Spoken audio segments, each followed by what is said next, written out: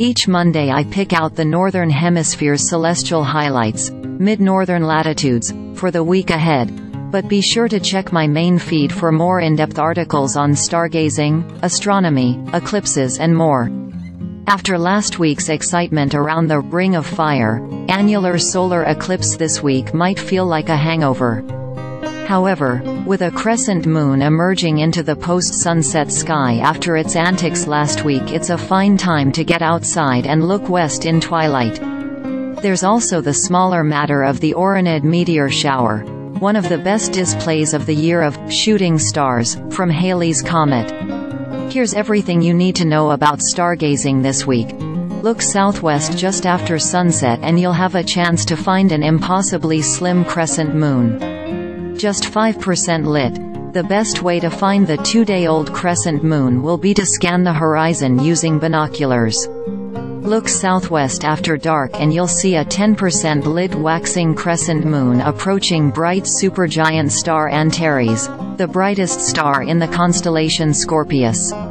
It's about 500 light-years from the Solar System. Yet another view beckons of the crescent moon, now 18% lit, but tonight it will be very close to Antares.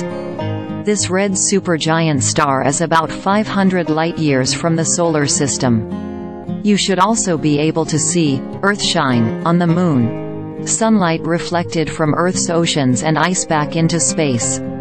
With the first quarter moon out of the sky by midnight, those willing to stay up all night from Friday through Saturday could see about 10 to 20 shooting stars per hour as the Orionids peak caused by dust and debris left in the inner solar system by Halley's Comet.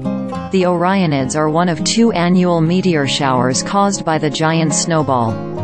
Halley's Comet was last seen in the inner solar system in 1986 and in December this year will get to its farthest from Earth, beyond Neptune, before beginning its long journey back to loop around the Sun in 2061. Is Pluto a planet? No, it is not, and it hasn't been since the early part of the century when more Pluto-sized bodies were found in the outer solar system.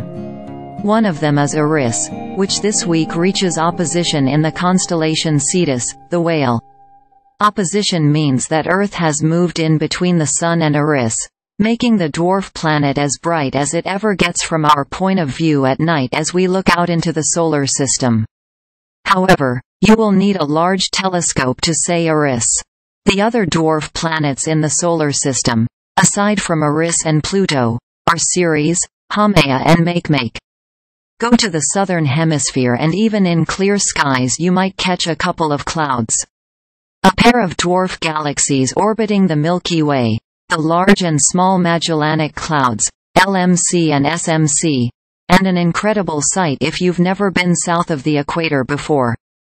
This week has perfect conditions to see them shine brightly in the evening but you will need to be under as dark a sky as possible.